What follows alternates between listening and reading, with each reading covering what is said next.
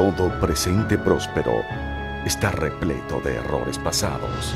Al escultor le dijeron, bueno, hágame la libertad ¿eh? que simbolice ahí con una llama en la cabeza. Hay algunos que no pasan desapercibidos. Y el tipo le hizo una llama, pero una llama al animal. Entonces está la libertad con un gorro y arriba una llama. Totalmente desubicado. Sin equipaje, Lima, Perú. Esta noche a las 8. En el terminal, por Son Channel. Como hizo como un cenicero en un avión.